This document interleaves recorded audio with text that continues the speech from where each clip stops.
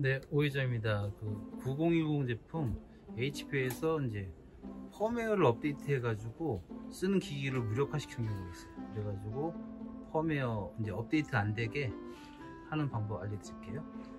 펌웨어 확인하는 방법은 느낌표 누르면 정보가 뜹니다. 필드 정보. 그러면 이렇게. 그래서 펌웨어 버전을 알 수가 있습니다. 이쪽에 버튼이 홈백, 홈백 버튼 있는 게 있는데 위치를 대략 알고 싶을 때는 이걸 눌러주세요. 누르면은 이 정도 위치에 있습니다. 여기서 누르면 안 되고요. 눌러서 이걸 없어지는 다음에 그래서 홈백, 홈백 네, 홈백, 홈백 하면 이게 나와요. 눌러서 이쪽 활성화되어 있는 거